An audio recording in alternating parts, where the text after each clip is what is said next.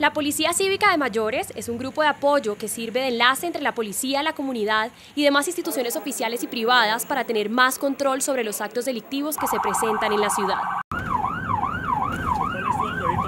Los robos, los accidentes de tránsito, la venta de bebidas embriagantes a menores de edad y la distribución de estupefacientes son los casos más frecuentes. ¿Es verdad que se necesita tener plata para pertenecer a la Policía Cívica?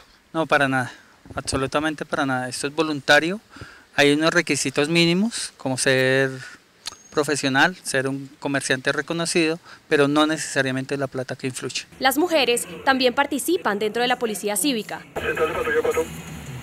No solo en labores sociales. Nosotros somos los que dirigimos los operativos que realizamos el del viernes y el sábado de la noche, en la calle, en los accidentes. Cuando estamos en vigilancia, entonces estamos en las diferentes estaciones y allá ayudamos a la vigilancia de los establecimientos, cuando hay riñas en la calle también colaboramos, cuando hay heridos, pero hay personas que son especiales para atender los, heridos que nosotros llamamos los 910 en un accidente. Unisabanaradio.tv cubrió el operativo de vigilancia en el sector de Teusaquillo.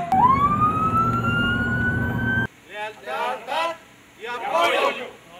Este inició a las 8 de la noche del viernes con la formación de rutina y transcurrió hasta las 5 de la mañana del sábado, en el que se presentaron riñas callejeras, decomiso de estupefacientes, la muerte de un ladrón en medio de un atraco y el control de travestis que exhiben su cuerpo de forma indebida.